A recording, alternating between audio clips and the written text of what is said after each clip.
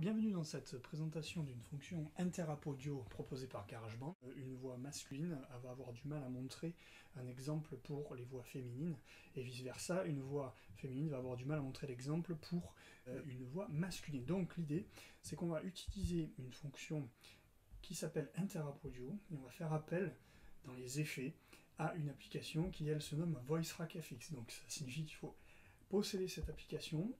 Une fois donc que cela est lancé, on touche l'application et on peut choisir le type d'effet que l'on veut. Donc si je choisis par exemple high double, on entend mon double féminin, on entendra davantage tout à l'heure. Il y a tout un tas d'effets où on peut simplement aussi euh, n'avoir plus que le double de sa voix, c'est-à-dire là j'ai gardé les deux, mais on ne peut avoir que euh, une transposition euh, aiguë.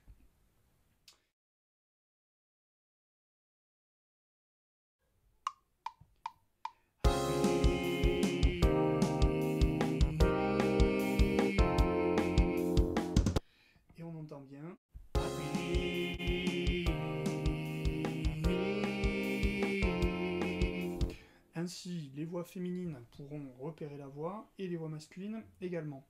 Alors admettons maintenant que nous souhaitons avoir seulement la voix aiguë. Donc on va utiliser male to female. Et on y va.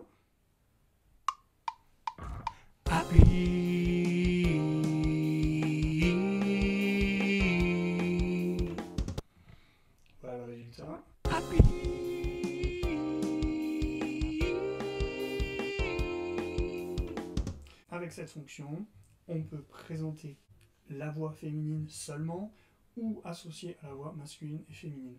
Et pour peu qu'on balance d'un côté et de l'autre les différentes voix, ça permet de donner le modèle idéalement.